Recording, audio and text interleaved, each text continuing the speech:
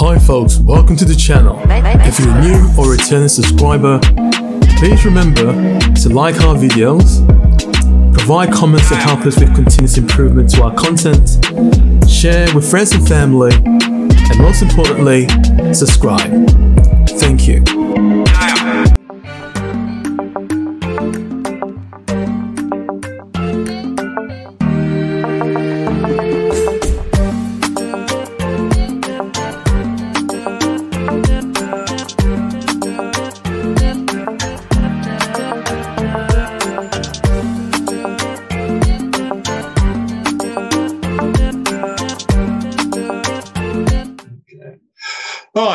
Hi. So today I have um, two past students that I'd like to have a chat with regarding our virtual mentor series. So we have Lucy and we have uh, Kruthika. So Kruthika, I know that you've got a, sh- a short form that you like to be called. Um, yes, Kruthi is fine. Kruthi. Okay. So I've never called you that. So Kruthi. okay. So let me just note that Kruthi. Okay. So as I more or less pointed out, this is more or less like a mental series. So what I like to do is to inspire the next generation of young persons, particularly, you know, a young lady, because I have a daughter and she's like really into like design and stuff. So I just thought, oh, okay, why not have a catalog of stuff that she can, you know, reflect on and see how that motivates her into pursuing some form of STEM related uh, profession. So whether she decides to go into the product design, engineering part of STEM or more the medical side of things, at least there's something to to to look forward to. All right, so let's start off by talking about your personal journey uh, before going to um, university. So, what motivated you to pursue uh, design and technology? In, in the first instance? And what were the things that influenced you to pursue that from key stage five, or key stage four, key stage five into um, university eventually? So who wants to start? Should I? Yeah. um, so I did maths, physics, and art for my A levels. So very much liked the STEM side of things, but really like being creative and like getting stuck in. So I was really like stuck with what I should do, like because I wanted to do a degree that was a combination of both like the creative aspects and the technical aspects. So then I was looking into it and I found product design and I realized that it would like allow me to do like everything that I liked. Um, like it was a combination of like the subjects I was doing. So that was the main reason I pursued it. And I was always really interested in like innovative new products, like all the stuff like the James Dyson Awards. I thought it was mm-hmm. really interesting and it excited me. So seeing the kind of work that people were producing, um, like pushed me to p- pursue product design, I think, and just wanting to do something where I could be creative, but also like put my maths and physics skills into use. Yeah. Yeah. How about yourself, Lucy? Um, I was pretty similar. I did maths, physics, product design at A level. Um, and for GCSE, I did product design as well. And I just, I really enjoyed maths and I didn't want to let maths go. But I also really enjoyed product design and it was like my strongest thing I worked on at A level. And I just really enjoyed it. And so, like, all the way up from like year seven up to A levels, I had one tutor who was like really encouraging and really kind of helped me out with everything that I wanted to try and do. And um, my A level project, I just I loved it. And so because I was so invested in product design, and then I came to a Loughborough University open day, I was I just kind of looked at it and was like, yeah, this is this is for me because yeah, I wanted maths and physics and I liked design. So it just worked pretty well. Yeah. Quite cool. And then reflecting on, you know, back in the days when you were um, doing your GCSEs, your A level, um, proceeding to university. I mean, did you have any um, role models that you wanted to kind of like follow in terms of the, this particular profession? Because you mentioned Dyson.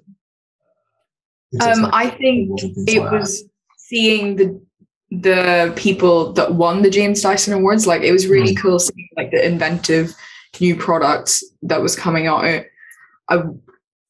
I think that's what excited me the most. I wouldn't say there was any specific role models that I had. I was okay. very much like new to the world of design, like starting this course. So like everything I was I was learning from scratch because I'd never done product design before. But I, I think that was good. Like I had to learn, like pick up everything really quickly. Um, yeah. Had to sort of push myself to learn. okay. All right, cool. So let's assume that, I mean, before entering, uh, you know, uh, university, I mean, going through the doors of the design school, what was your perception before then as to what product design entailed? From I your perspective. From from what I thought before, like I did the course and I came to Loughborough Design School, I thought it was a lot about making a functional product and working equally on both how it, how the product will work and the mechanics and electronics inside it, as well as looking at how it will look on the outside to like the average consumer. Um, and so I thought it would just be like a mix of that, merging both my maths and physics with design. Yeah, I thought so, the same. Yeah, I was very much um like thought that that's what I would yeah. be doing. okay. All right, cool. So now let's talk about your your journey uh, once you went through those doors, um, the design school. How did you find your first year? What was your experiences of your first year? And did that kind of change your perception as to what product design is all about? Um, it's been a while. Yeah, yeah, I think I think for me, yes, because I I was very new to it. Also, I really didn't like. I think I knew what I was getting into, but also I didn't. Like, I think when you apply for a degree, you definitely have a different impression as to what yeah. it is than when you actually do it. So, I was like, it was all new to me, but I did enjoy it. I think, um, you know, there was like a we got to learn a little bit of everything. Mm. So I felt like there was a good balance between my academic life and my social life during first year. And I thought it was like a good introduction to the field. It was just it was different to what to what I expected, but it was enough for me to stay. I think for me, it was quite, I think first year was quite similar to what I thought would happen because we had mm. like the workshop, um, the three workshops. We had the fabrication one, the metal one, and like the one multi-materials one. Yeah. And um, that was really similar to what I had done at A levels, and like going through those workshops was kind of what I thought we'd be doing. Um, I think the only thing that did surprise me a lot was the design practice module, where it was a lot more like how the product looked and the focus was on that and that was something that i was kind of a bit more thrown by but first year i really enjoyed i think i think the amount of work was a big step up from a levels. Um, but i did enjoy it. Yeah. Yeah. Yeah i think that's that's always been the case particularly the first year. I mean it's not necessarily um, the modules or the units that you will be undertaking. It's more about okay you're getting commitments from this module, you're getting commitments from that module. How do you go about balancing all that workload to meet the mm-hmm. necessary deadline? So, how are you going to adapt down the line? I think I tried lots of different things because that did really throw me. Because it was I had like maths and physics A level, and then like one design project through A level. And then, like you said, when you came here, you would have multiple things coming in from different modules and they would all kind of be completely separate. And so I know I tried timetabling it and being like, well, this one's worth this much. So I'll spend half my week on that. Um, but it kind of got to the point where it's like I had one project that I really focused on, and then the others I would use as like if I need a break or if I was like stuck with ideas for one project, I'd then just move on to the other one. And so I think that's how I kind of manage it. I use them as like breaks from each other, I think. Mm-hmm. Um, so would you say that's probably the, the biggest challenge in terms of year one? Balancing your workload. I think it's getting into routine because you're trying to juggle your like getting the work done in a completely new course and trying to make friends and you know trying to figure out when to wash your clothes and tidying your flat and yeah it's a whole different like ball game because you you have to balance like everything Yeah. your, your parents aren't there to help you anymore Nope. Yeah. You're more or less on your own. So yeah. yeah So no mummy or daddy or big sis or big brother wake you up and then to say, hey, it's time, it's time for you to uh, oh, you've got a class at nine o'clock, or you've got nah. Right. So that's that's quite that's quite insightful. So let's talk about okay, you've gone through year one, you've now adjusted to how things are done at university. How smooth was that the transition from the first year into the second year? How do you find the second year in general, in terms of, okay, what are the things that really motivated you to keep pushing forward to making a needed progression um, on your courses? But what were some of the things that you really found found quite challenging? um And what were the things that you really enjoyed that kind of like set the tone mhm. To this point of your journey whereby you've now made that consensus decision as to what you really want to do?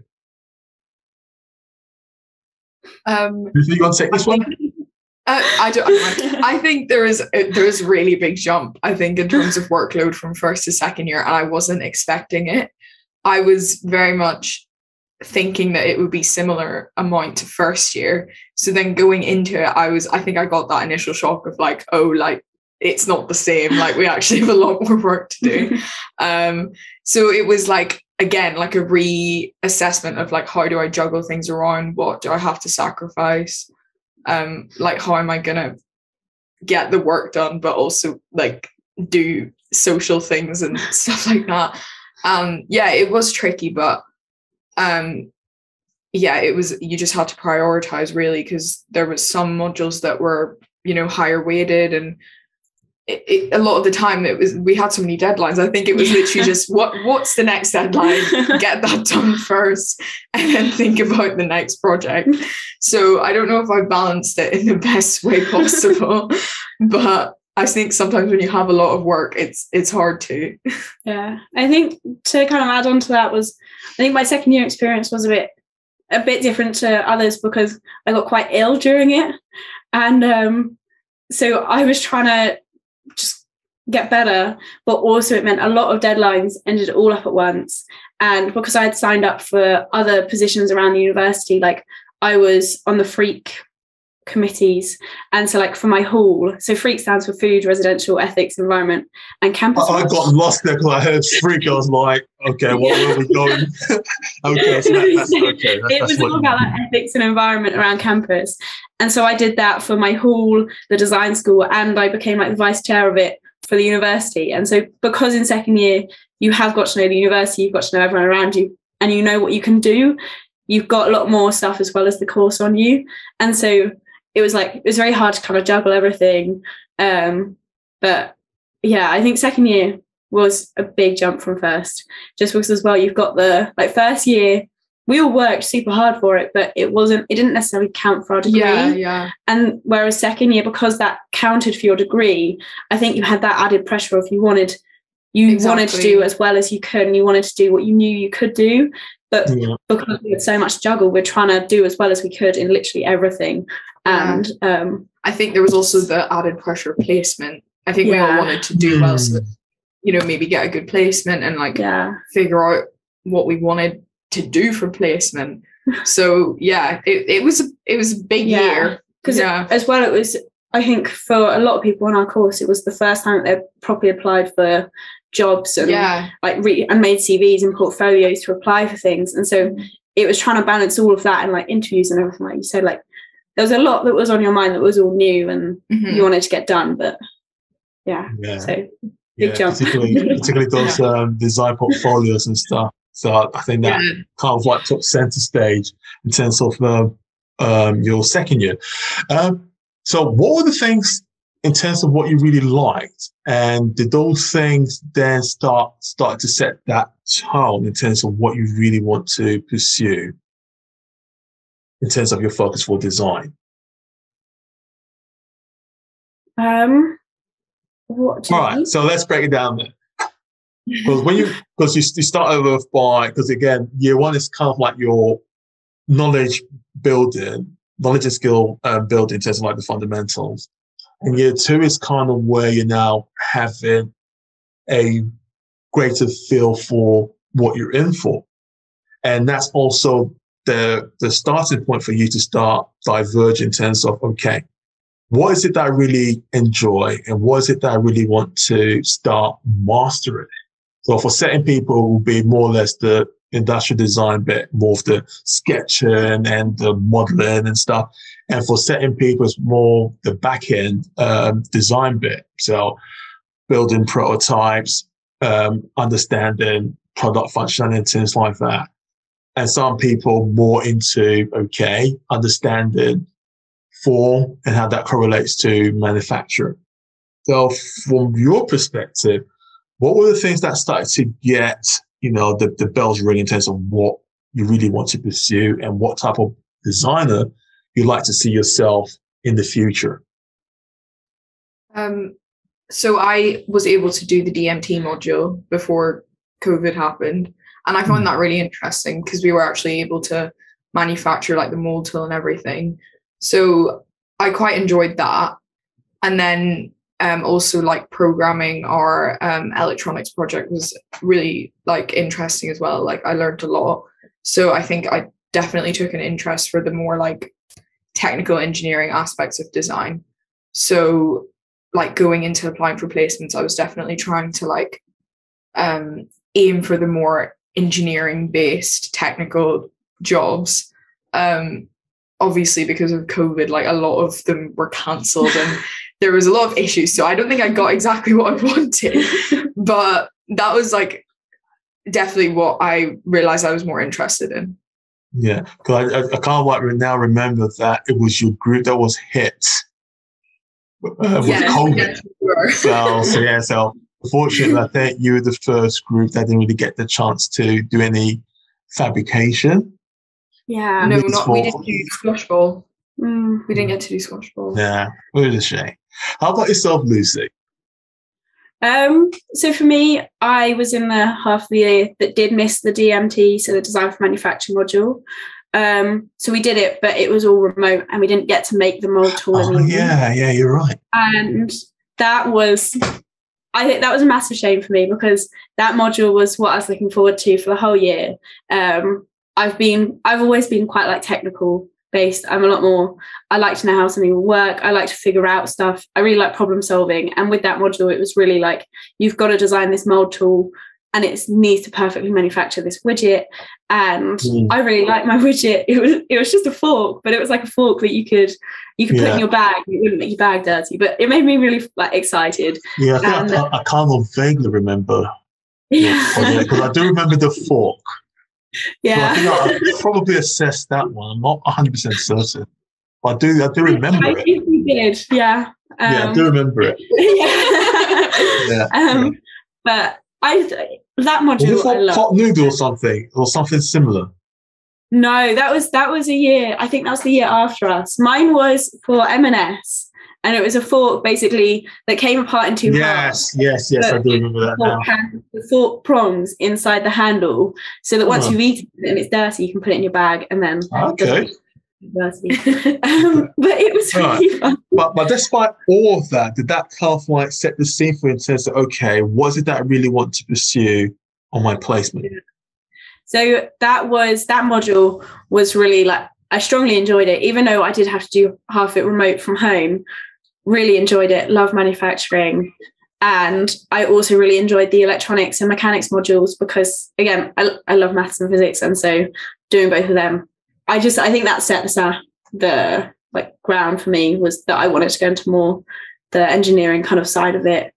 But also not totally related to the course was because I did the ethics and environment thing Hmm. that then made me want to pursue kind of sustainability in it as well some type of like sustainability thing that's even though it wasn't related to design that then impacted me and where i want to go with design because i learned so much about it so yeah. That kind of reminds me because again, you know, because it, it, it seems as though you're like really interested in like how things work and stuff. So why not pursue engineering? It will sound kind of bad, but I didn't think I was good enough um, to do it. Um, so I did really enjoy design, and I I Mm. genuinely thought product design was the perfect mix for me because I didn't want to lose the creative stuff from it. But I was also um, like physics and maths. I did have I put a lot of work in at A level, and so I just thought that like my school they weren't it wasn't like an engineering kind of focused school and Mm. so uh, the drive wasn't there for me to pursue it and because i did like creative subjects and i didn't want to let that go i kind of was like product design is where i should go but yeah if i went into like further education i think it would be to do with kind of blending it into some type of engineering Yeah. um the most important thing is enjoying the journey. I think that's the most important. thing.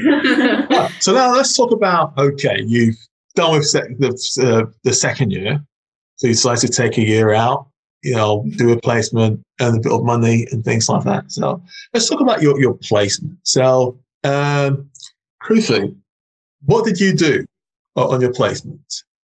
so my placement was like really unrelated to what I started to get interested in in second year. But I think because of COVID, I was just like, I, I just I, I was just willing to take what I could get, and Okay. it did seem interesting. I wanted to try something different, and um, basically, I was a packaging technician at Neal's Yard Remedies. So I was working in a lab doing like uh, compatibility testing on uh, formulations in their packaging and working on things like transit trials and um, helping out with packaging. Um, I got to work on like um, a beauty box gift that they released, which was quite interesting. Um, it was quite logistical because it was a lot to do with like issues that were cropping up with components that they'd outsourced and like uh, communicating with suppliers. I did get to do some creative work whilst I was there as well, um, working on like um, injected molded parts and like helping out with market research and um, doing some presentations and things like that. So it was a good experience for me in terms of learning how to work with people, collaborate across teams, because I was working with like quality control, manufacturing, formulation. Mhm. So it was it was really like I learned a lot in terms of like how do you take a product through to commercial release, like how the NPD uh, life cycle works, and a lot about that. And then Neal's Yard is really sustainability focused as well. So that was like a huge factor of, of what interested me in applying for it because um, a lot of their products are like organic, so they use um, ingredients like grown on site and they use like recyclable packaging, things like that. I thought, you know, this is like a company that's really interested in reducing their environmental impact. So I got to do like a lot of research into sustainability and like um circular economy, circular things like economy, that. You know, yeah, that so I, I did my dissertation on that as well.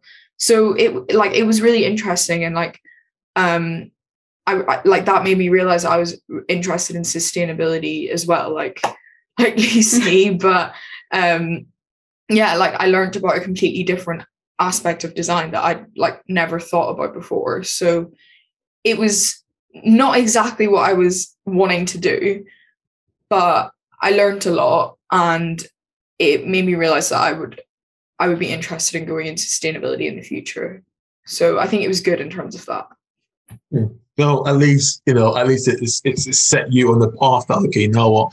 Maybe your interests and what you really may want to specialize in the future might be within uh, sustainability product, uh, sustainable product design, and things like that. How about yourself, Lucy? So, if I recall, you had the opportunity to go to Asia or something. yeah To Japan, it Japan or Thailand? Um, Japan. Okay. um, so of course corona hit um, which then stopped me from going to japan uh, during Oh. the year which was really sad because basically, as I said, I wanted to go into like manufacturing, and yeah, I've always wanted to go to Japan. Um, it'd been one it'd been one of the top countries that I wanted to go to since I was really young, and so I was really excited when I saw the opportunity to like arise.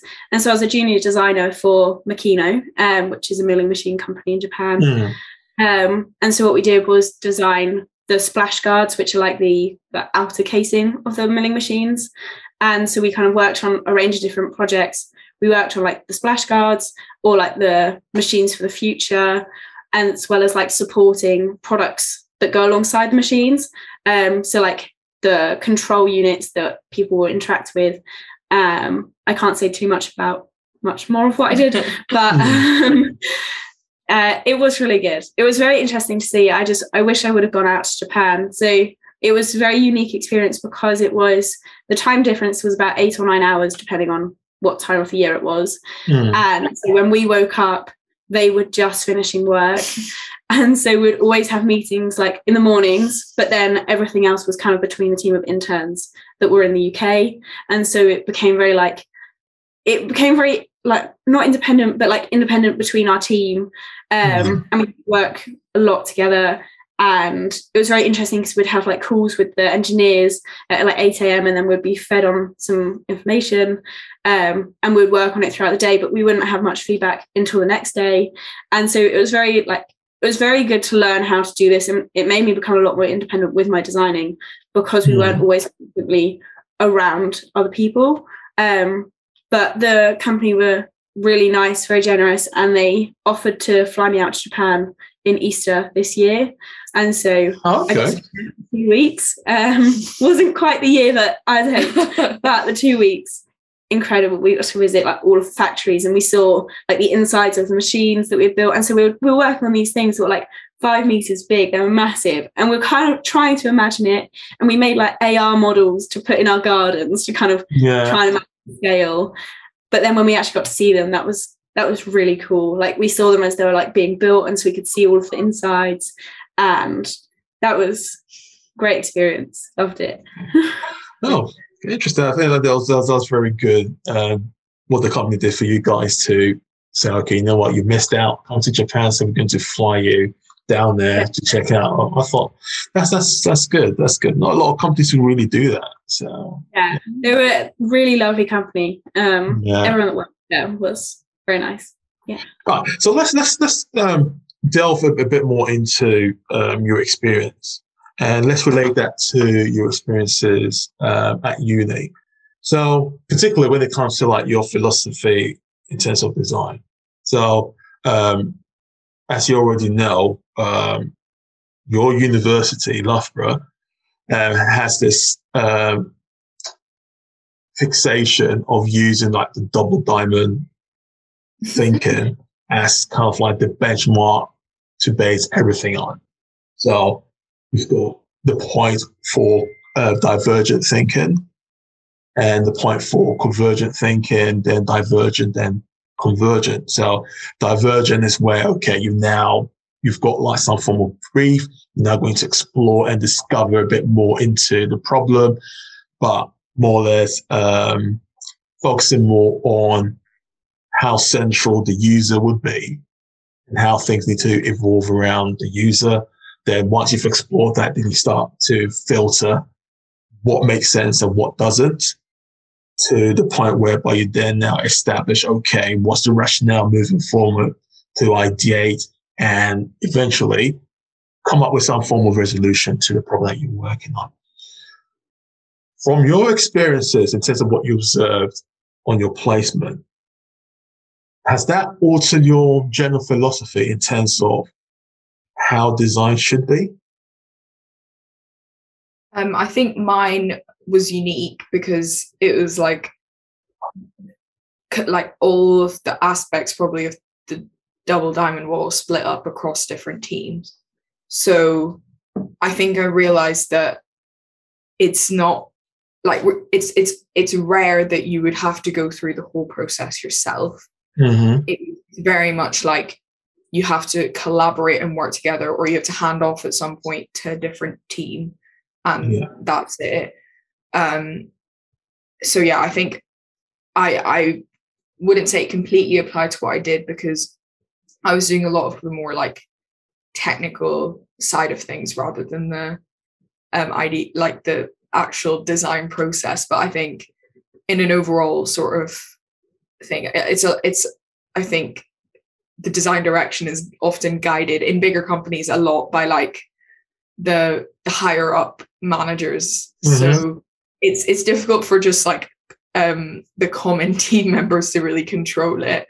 But you yeah, it's very much like um yeah, you're working on a specific part of it and, and mm-hmm. that's it. Uh, at least that was my experience. Yeah. Um, How about yourself, Lucy? I I feel I feel like I really struggle with the like the double diamond thinking because mm-hmm. when I go through my design process, I follow the process that works best for what I'm working on. And so for me, I think what we found a lot when we're working on projects, we would go like we'd broaden what we'd work on, and then when there was when we found something that would kind of work, we'd then kind of like narrow it down. And then it would get broader again. And when like it would keep going in and out. Like it's not necessarily these two diamonds. It was just multiple along the way and also for a lot of machines because there are so many different elements that went on them you kind of had to work on different bits separately and then kind of bring it all together and so mm. that doesn't that also doesn't necessarily follow that same structure because it was like so much stuff that we had to think about that then mm. all we worked on individually and then you bring it all together to try and like then do the final bit. I feel like the double diamond works quite well for when you're trying to come up with like a form or find like figuring out the final kind of once you got all the pieces, trying to put that all kind of into one. Mm. I think it then kind of works with that. But I think for me, the process really depended on what project we're doing, how many factors there are that influenced it, and kind of mm. that way. So I've become a lot more understanding of just if you need to follow what's right for the project, not necessarily try and stick mm. to yeah, exactly. Because I think you know um, with, with, with that, because I think again, it's, it's it's not just you. I think there are a number of people that will kind of like look at that, and it kind of like creates that um, perception that the process is linear, and with the process being that linear, it's quite a rigid, set in stone thing. But in reality, it it, it, it should be kind of like fluidic.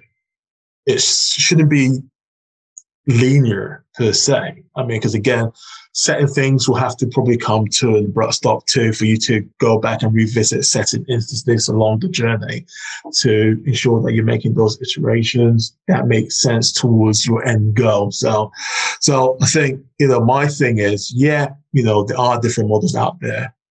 It all comes down to you. What makes sense for you?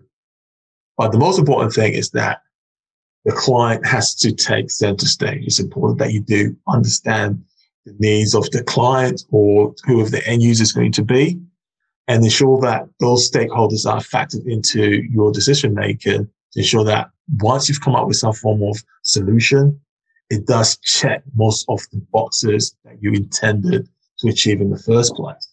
So yeah, so yeah, so that's that's that's that's quite interesting. So coming uh, uh, from the placement, did that solidify your uh, intent to maybe focus a bit more on the back end bits of design? So that's like the, the more technical side of it, as opposed to the more industrial design side of things. I think for me, it made me. So I was in like the industrial design team, and for me, the, my placement made me focus, like, want to put a lot more focus into how my product did look.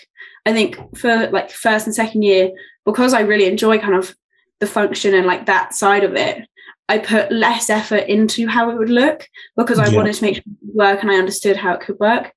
Whereas my placement, because we were so focused on making something that wouldn't necessarily look that pretty into something that would look really nice and look like mm-hmm. like people want to buy it it then made me in my final year project want my product to look good and i had more of an appreciation for the industrial side, design side of it like i definitely wanted to make it work and like understand how but my placement actually made me focus more on the industrial yeah. design. So at least it's, it's now giving you that balance now. That okay, you know? Yeah, even though it's important for a product to work accordingly, it's also important that it's packaged in such a way that it looks good and it will more or less draw in the needed punters to make. Because again, fundamentally, everything comes down to money. So if you design a product and you're not able to recover the cost and the product's not maturing on the market, then what's the point? So, you know, all that, you know, needs to come together for you to design a product that meets the desires and the needs of the market. That's that's quite interesting.